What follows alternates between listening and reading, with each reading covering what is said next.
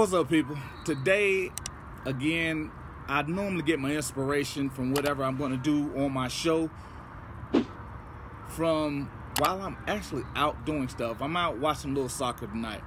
I wanted to bring you something because I had somebody that brought up an issue that they were having and it dealt with a religious aspect. Now, tonight I'm not going to give you a court case, but I am going to give you a couple of nuggets that will go into, and I'll later go into the Supreme Court cases that go with this particular episode. The thing is, on this one, it is a First Amendment issue because the First Amendment reads Congress shall make no law respecting an establishment of religion or prohibiting the free exercise thereof. Now, in understanding what that means, it's the fact that you have people that are going into public spaces that are being required to, and I do mean required to take off religious aspects, such as medallions. I wear um, a chain often. I don't know if you can see it, but there are times I have to remove it or I'm asked to remove it. Now, understanding the totality of it is they cannot ask you to remove a religious garment without cause.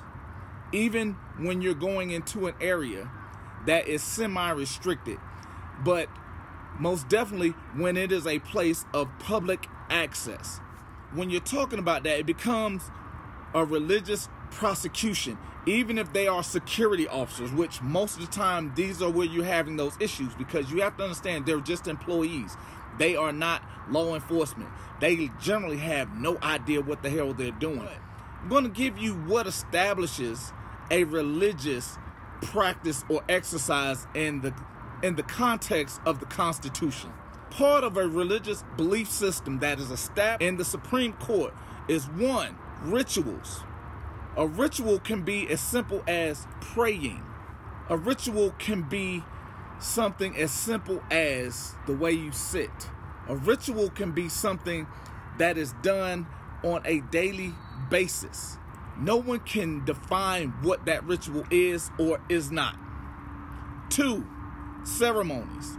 Ceremonies will be your gatherings. Again, your practices, your behaviors, like even a Sunday school or meetings. Those are ceremonies.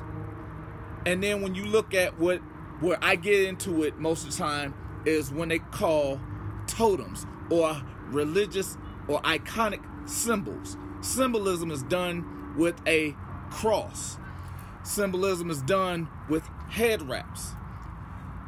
Symbolism is done with even garments of clothing.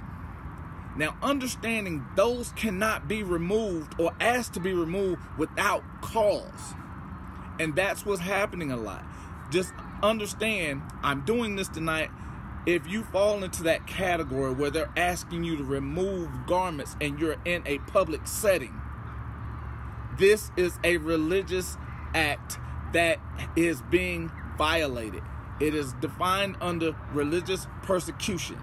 It is a civil rights violation. I want to get that out tonight, make it kind of quick, kind of simple, but just to let you know, these are things that are going on on a daily basis, and this is something that we need to get a handle on. So, for right now, that's it. I appreciate everybody that's donating. I appreciate everybody that's helping us grow. And the podcast will be out. Just download it on your major platform that you listen to. So, Supreme Decisions, until next time.